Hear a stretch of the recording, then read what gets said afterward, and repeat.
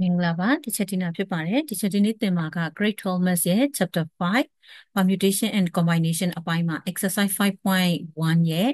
နောက်ဆုံးနှစ်ပုဒ်လေးကိုသင်မှာဖြစ်ပါတယ်6နဲ့7သူကကြတော့ဘယ်အပိုင်းဖြစ်သွားပြီလဲဆိုတော့ Mania 5အထိပြီးသွားခဲ့ပြီเนาะအဲ့တော့ तू ကကြတော့ factorial အပိုင်းကိုရောက်သွားခဲ့ပြီเนาะအဲ့တော့ factorial ရဲ့ notation လေးကိုကြည့်မယ် factorial notation ကကြတော့ဒီချက်တို့က exclamation mark mark လိုမျိုးလေးရေးတယ်เนาะ ဒီလိုလေးရင်းအဲ့ဒါပါလဲ exclamation မှတ်လို့ခေါ်တယ်မဟုတ်လားနော်အဲ့လိုပုံစံလေးနဲ့ရေးတယ်အဲ့တော့ n က positive integer ဖြစ်ရမယ်ဆိုရင်ဒီ Cherry ရဲ့ formula ဒီ n factorial ဆိုရင်တဲ့နော် n factorial ဆို n ကစမယ်1မှဆုံးမယ်1ရော့သွားမယ်နော် n ကစမယ်1မှာဆုံးမယ်1 1 1စီရော့သွားမယ်အဲ့ဆို n ပြီးရင်1ရော့မယ်ဆိုတော့ n ထဲက1ရော့တော့ n 1 n ထဲကထပ်ပြီး1ရော့မယ်ဆိုတော့ n 2 ထပ်ရောမယ်ဆိုရင် n 3ဒီလိုလာမှာเนาะထပ်ရောသွားမယ်ဆိုတော့ n 4 n 5เนาะအဲ့တော့ n so on နောက်ဆုံးမှာဘာနဲ့ဆုံးလဲ1မှာပဲဆုံးရမယ်သူကအမြဲတမ်းအဲ့လိုပဲเนาะကဲအဲ့ဒါဆိုရင်ဒီ0 9 factorial ဆိုရင်ဘာဖြစ်သွားမလဲ9 factorial ဆိုရင်9ကစား1မှာဆုံးတစ်တစ်တစ်စီရော့သွားမယ်နော်အဲဆိုရင်9တဲ့ကနေတစ်ရော့မယ်ဆိုတော့9ပြီးရင်ပါလာမလဲ9 8နော်8ပြီးရင်ပါလာမလဲ7 6 5 4 3 2 1เนาะအဲ့လိုသွားတာအဲ့ဆိုတော့ဒီမှာ dot product နဲ့တစ်ချက်သုံးထားတယ်เนาะ scalar ဖြစ်တဲ့အတွက် dot product နဲ့သုံးထားတယ်တခါတကယ်လို့ 5 factorial ဖြစ်မယ်ဆိုရင်တစ်ချက်လို့ဘာဖြစ်သွားမလဲဆိုတော့5ကစမယ်1မှာဆုံးမယ်တခုစီရော့သွားမယ်အဲ့တော့5 4 3 2 1အဲ့ဒါတွေက into တွေเนาะအမြောက်တွေအဲ့ဒါဆိုရင်ဒီစတို့တကယ်လို့3 factorial ထပ်ပြောမှာเนาะ3 factorial ဆိုဘာဖြစ်သွားမလဲ3 2 1မလား နော်အဲ့ဒါဆိုရင်ဒီစတို့ဒီ5 factorial ကိုဘယ်လိုရေးလို့ရမလဲ5 4အဲ့ဆို3 factorial ဆိုတာ3 2 1မဟုတ်ဘူးလားအဲ့ဒီ3 2 1ဒီဘာနဲ့အတူတူပဲလေ3 factorial နော်အဲ့ဒါအဲ့လိုရေးလို့ရတယ်ဒါဒီ5 factorial ဒီဒီလိုရေးရေးဒီလိုရေးရေးရတယ်နောက်တစ်မျိုးဘယ်လိုရေးလို့ရသေးလဲသူ့ကို5 into 4 factorial အဲ့လိုရေးလဲရတယ်နော်ဒါမှမဟုတ်နောက်ထပ်ဘယ်လိုရေးလို့ရသေးလဲ5 into 4 into 3 into 2 factorial ဒီလိုပဲရေးလို့ရတယ်သဘောပေါက်လားပေါက်ပါနော်ကဲအဲ့ဒါဆိုရင်ဒီချက်တို့ကအဲ့ဒီမှာဘာလဲဆိုတော့0 factorial ကိုကြည့်မယ်နော်ဆိုတော့0 factorial ကိုကြည့်ဖို့0 factorial ဆိုတာက1ရတယ်တဲ့နော်0 factorial ကဘာလဲ1ရတယ်အဲ့ဒီ1ဒီဘယ်လိုရတာလဲဆိုတာလေးဒီချက်နမူနာလေးပြောပါနော်ဆိုတော့နမူနာလေးပြောပါမယ်ဆိုတော့ဒီချက်တို့5 factorial ကနေစနော် 2 factorial သွားမယ်နော်1 factorial ဆိုပါဖြစ်မှာလဲ1ပေါ့နော်1 factorial ဆို1ကစား1မှာစုံတစ်ရောစရာမရှိတဲ့အတွက်1 2 factorial ကကြတော့2 1 3 factorial 3 factorial ဆိုရင်3 2 1เนาะတခါ4 factorial ဆိုရင်4 3 2 1 5 factorial ဆိုရင်5 4 3 2 1နော်အဲ့ဒါဆိုရင်ဒီစတို့ကဒီမှာဒီကနေဒီကိုသွားဖို့အတွက်ကိုကြည့်မယ်နော်ဆိုတော့9လေးလီက20နော်20 3နှစ်လီက6 6နှစ်လီ12ဆိုတော့120သူကနော်သူက120ဒါ4 3လီ12 12နှစ်လီဆိုတော့24ဆိုတော့သူ့အဖြေက24ဒါ3နှစ်လီက6နှစ်တလီကနှစ်အပေါ်ကတော့1ပဲပေါ့နော်တန်ဖိုးကိုတွက်တာနော်အဲ့ဒါဆိုရင်ဒီစတို့ဒီ7နှစ် 120ဖြစ်တဲ့5 factorial ကိုဒီချက်5နဲ့စားမယ်နော်သူဘာနဲ့စားမလဲ5နဲ့စားမယ်ဒါဆိုရင်9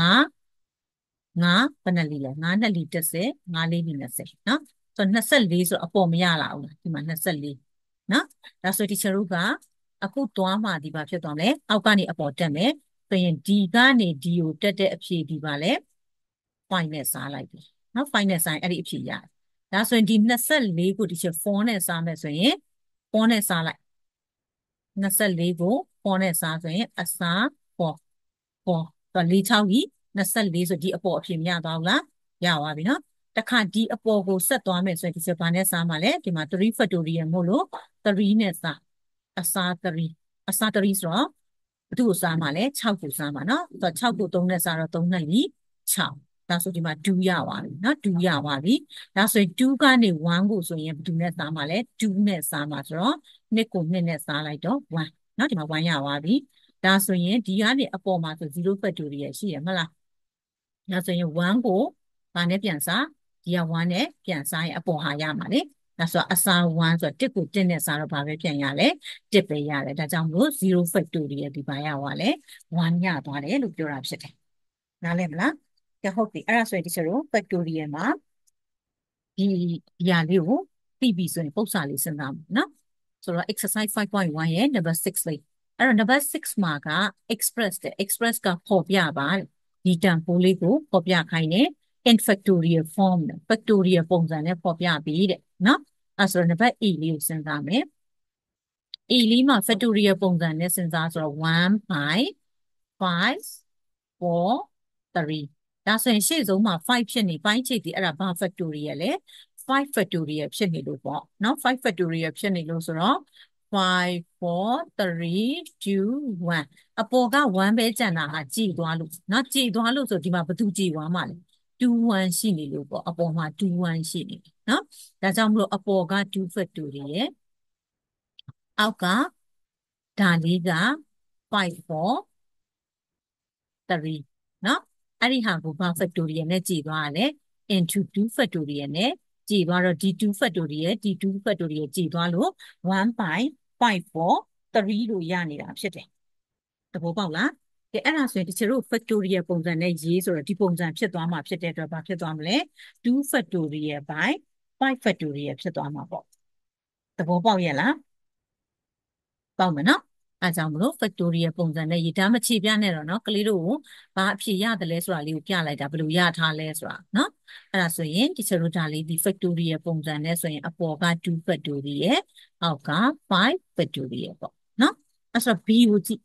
b မှာကကျတော့ evaluate ဆိုတာတွက်ထုတ်ပါတဲ့ဒါလေးတွက်ထုတ်ခိုင်းเนาะဆိုတော့2 into 9 factorial plus 82 into 8 factorial ဒါဆို factorial ဒီ teacher တို့ကတူညီနေပုံထုတ်လို့ရမယ်ဥပမာဘယ်လိုလဲဆိုတော့ 2x plus sorry 2x square plus 5x နော်ဒါဆိုရင်ဒီချက်ဒီမှာ x တထပ်ပုံထုတ်လိုက်မယ် x ထုတ်လိုက်ရင် 2x plus 5x ဆိုရင်ဒီဟာနှစ်ခုပေါင်းလို့မရသွားဘူးလားရသွားတဲ့အတွက်ဘာဖြစ်သွားမလဲ 7x ရသွားမှာဆိုတော့နောက်ကဂိမ်းပေါင်းလို့ရပါပြီသဘောပေါက်လား အဲကြောင့်ဒီချက်ဒီမှာက9 factorial ဒီမှာက8 factorial ဆိုတော့2အောင်လုပ်မယ်ဆိုတော့အရှိက9ကို8 factorial ပါအောင်ဖွဲမယ်ဆိုရင်ရှေ့မှာခုနဒီချက်ရှင်းပြခဲ့တယ်9 factorial ဆိုတာ9 8 7 6 5 4 3 2 1မလားအဲ့ဒါဆိုဒီချက်9ပြီးရင်8လာမှာဆိုတော့9 into 8 factorial နဲ့တူလားတူတယ်เนาะအဲ့ဆိုတော့ရှေ့က2က2ပဲ9 factorial ဆိုတာဟာ9 into 8 factorial plus 82 into 8 factorial ဒါဆိုဒီချက်တို့ဒီမှာ8 factorial ချင်းတူသွားပြီဆိုရင်ရှေ့က constant ချင်းပေါင်းလို့ရပါတယ်เนาะအဲ့တော့8 factorial ကိုဒီချက်ဘာလုပ်လိုက်မလဲဘုံထုတ်လိုက်မယ်ဒါဆိုဒီရှေ့က9နှစ်လီယာ18 plus အနောက်က82ပေါင်းလို့ရပါတယ်เนาะအဲ့ဆို18နဲ့80ဆိုတော့90 100ဖြစ်သွားတာเนาะ100ဖြစ်သွားတာအဲ့ဆိုတော့100 into 8 factorial เนาะ calculator နှိပ်လိုက်တော့เนาะ အဲဆိုတော့4032 03လုံးเนาะ4032 03လုံးရမယ်နားလည်မလားကြဟုတ်ပြီအဲဆိုရင်07လေးကြည့်7ကကျတော့ proof that proof that ကတက်တည်ပြခိုင်း left hand side နဲ့ right hand side နဲ့ညီချောင်းပြပါတဲ့ဆိုတော့ဒီ left hand side အရင်ရှင်းမယ်နော် left hand side ဆိုတော့သူက1 by 5 factorial plus 1 by 6 factorial 1 by 7 factorial ဒါဆိုတော့အဲ့ဒါကိုချရရှင်းမယ်ဆိုပိုင်းချင်းညှိရမှာမလားပိုင်းချင်းညှိရမှာဆိုတော့အကြီးဆုံးနဲ့တူအောင်ညှိရမှာဆိုတော့အကြီးဆုံးက7 factorial ဒါဆိုရင်ဒီမှာ5 factorial ဆိုဘာလို့နေသေးလဲ6 7လို့ရတယ်နော်7 6လို့ရတယ်5မှာ7 6ထည့်လိုက်ရင်7 factorial ဖြစ်သွားမှာမလားနော်5မှာ ဒါ5 factorial အရှိမ6နဲ့7ထည့်လိုက်ရင်ဒါလေးဒီပါလဲ7 factorial ဖြစ်သွားမှာဒါကြောင့်မလို့ teacher တို့ဒီအပေါ်ကိုပိုင်းချညှိတဲ့အခါမှာ6 into 7ဖြစ်ရမှာအဲ့ဆိုဘာဖြစ်သွားမလဲ6လီဆိုတော့လီစနစ်နော်42 by 7 factorial ဖြစ်သွားပြီဒါပိုင်းချညှိနေရနော်ဒီချက်ဒါဆိုရင်ဒီမှာ6 factorial ရှိတဲ့အတွက်7လို့ရဲဆိုတော့7 by 7 factorial ဖြစ်သွားမယ်အနောက်ကပြောင်းစရာမလိုတော့ဘူး by 7 factorial ဒါဆိုရင်ပိုင်းချီတူသွားတဲ့အတွက်ပိုင်းဝေအားလုံးပေါင်းလို့ရတယ်ဆိုတော့42နဲ့ခွန်8ဆိုတော့ဘယ်လောက်ဖြစ်သွားမလဲ50ပေါ့နော်50ဆိုတော့50 by 7 factorial ဒါပဲနားလည်ရလားဆိုတော့ဒီဘက်အချမ်းရှင်းစရာလိုသေးလားမလိုတော့ဘူးအဖြေသွားတူနေပြီနော်အဖြေတူသွားပြီဖြစ်တဲ့အတွက် equal to right hand side နော်ဒါကြောင့်မလို့ therefore ဆိုအဖြေပြန်ထုတ်ရမယ်1.5 factorial plus 1.6 factorial plus 1.7 factorial equal to the 50 by 7 factorial နဲ့ညီသွားပြီတဲ့ဒါလေးပဲရမလားဟုတ်ပြီနော်အဲဆိုရင်ဒီချက်တို့နောက်ဗီဒီယိုလေးကိုဆက်ဆောင်ကြည့်ပြီအားလုံးမင်္ဂလာပါ